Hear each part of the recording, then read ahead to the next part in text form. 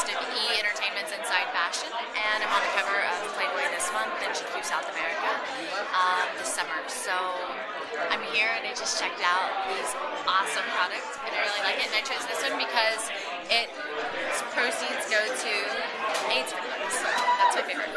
Very good. All right, so what do you think about this whole KAUZBOTS concept? Oh my god, I think it's amazing. The cutest thing is it actually has a heart. It's like so